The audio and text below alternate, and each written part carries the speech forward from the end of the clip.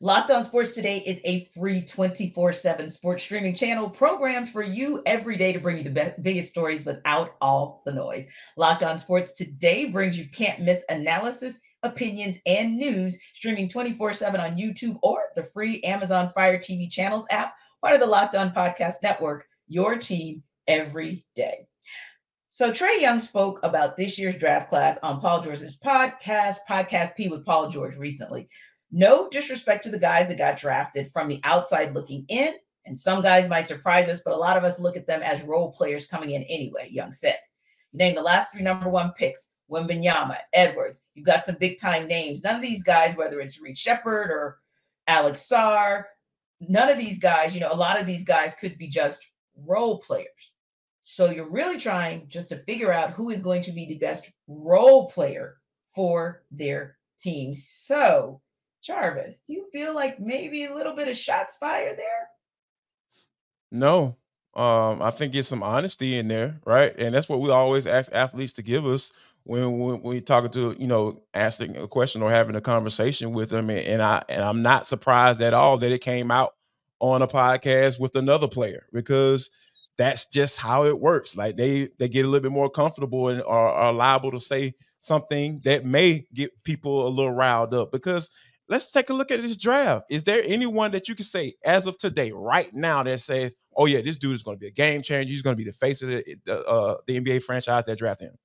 I can mm-hmm. say that, but what you can say, given from the potential talent level, we know the NBA draft is geared towards that more so than ever. I, you know, since I've been on this earth, and and you say to yourself like, okay, how can this dude contribute in his rookie season? And that's being a role player because if you're not the face of the franchise, you're a role player. So it's not too many positions to choose from. So either you're a face of the franchise or you're a role player. So uh, so for him to come out and say that, I don't feel like it's necessary throwing shade, even to his teammate who was the number one overall pick in Zaccharie Risacher.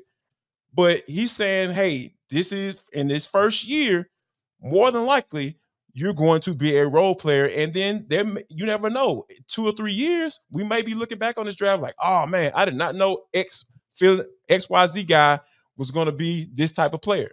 So yeah, no, not not shade, not shade at all. What do you think about those comments, Maria? I think that people take what Trae says the wrong way a lot. And you know, that's that's sticking up for Trae a little bit. And I think because he's made some really contentious comments over the last year, or two years, people hear that and they're like, oh my gosh, he's out to get these rookies and whatever. I don't think that's what he meant. I think I, am kind of with Jarvis here that, which, hey, we're agreeing. Look at us. We agreed. Um, I think yes, yes, you were frozen finally. for a second. I was like, oh no. Um, right. Is he mad?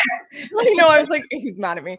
Um, no, I, I really don't think that Trae did it to stir the pot. I don't think that he was trying to rile up his teammates. I think he was honestly just being honest. And he made a really good point. And he, it was kind of a, a way to send a message to the rookies as well. Like, know your role, know you're coming in here to do something, which is be a role player. And that's what we expect out of you. And I didn't think that it was anything less than that. I just think that his words get twisted a lot. Yeah. And for me, I think I wonder when I kind of look at it and I'm careful not to over dissect, but while I don't think he was throwing shade, I still think that low key he has an issue with where these Hawks are because when Good he point. called out, yeah, because he said you've got you know the last couple of number one picks. So he mentions Wembanyama, he mentions Edwards, and obviously we know what Victor Wembanyama and Anthony Edwards have done so far in their careers, with Wembanyama almost willing the French to beat the USA, and then Anthony Edwards giving a lot of good play for the U.S. men's national team in group play early on in their run to the goal. That said, then Trae comes back and talks about Reed Sheppard. He says he's going to be a hell of a player. Alex Sarr didn't play well in summer league, but is going to be a hell of a player. And then he says a lot of these guys guys could just be role players. Now, granted, in the quote we have, he does not mention Zaccharie Risacher, so I want to make that clear. But he is talking about top picks and how they're going to be role players. That still concerns me about his concern about where this team is in terms of reset, rebuild, or being 100% ready to run after and get after for a championship. I think that's what still concerns me about those comments. Again, not that he was necessarily throwing shade. I just feel like mm, that still says, does Trae Young at this point in his career really want somebody who's a number one pick who's going to be a role player? It's a great point. And, and, you and when you think about that, Tuti, like that, when is that going to be going to be addressed? You know, for, for me, I feel like superstar your team, and not necessarily. I know T, you know, feel Trae can be a little passive aggressive, and I'm with you on that. And mm-hmm.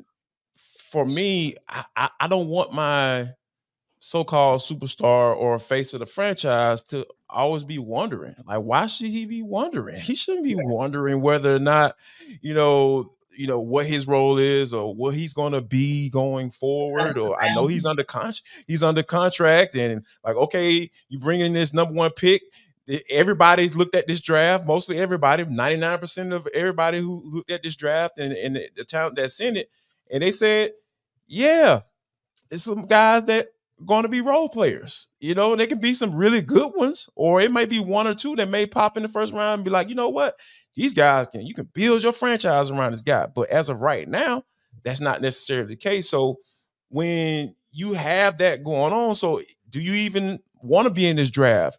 Do you want to trade that number off pick to bring bring in a guy that you know what he brings to the table, or are can you be a go get the guy that he's talking to on the podcast and Paul George and says, hey man, we want to win now. We're trying to compete, but you know, it's unfortunate that he has to do it in this manner because you have a franchise that not necessarily want to reveal outside of just their, their actions what they're trying to do. I think for me, you guys both bring up really good points. And I want to circle back to the Falcons because, and I'm making this comparison because we've talked so much about what's the incentive for players to play for the Hawks outside players, right? I'm not talking about the draft. So, what's the incentive for them to play there? And I think that's where Trae's frustrations come from. It's there is nothing attractive about coming here right now because we're consistently a play-in team. We don't have any superstars. I'm sure he would say, albeit aside from myself, on this team anymore. And so we don't have anything to get guys to come here and to change this franchise. That's where his frustration comes from, I think. And so going back to the Falcons, look what a proven veteran franchise quarterback does for your team. I cannot say that enough. There were a lot of mm. people who were upset about Kirk Cousins coming here. You don't get a Matthew Judon without a Kirk Cousins. I will stand on that until forever. You do yeah. not have that happen unless you have other players that they want to be a part of something special with.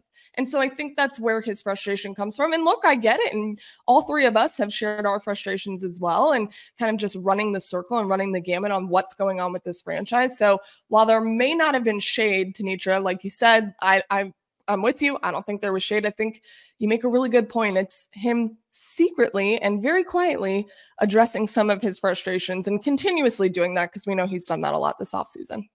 Indeed. And not to, and this is not an affront to Landry Fields. This is a compliment to Terry Fontenot that I know we didn't get around, but I know the three of us agree.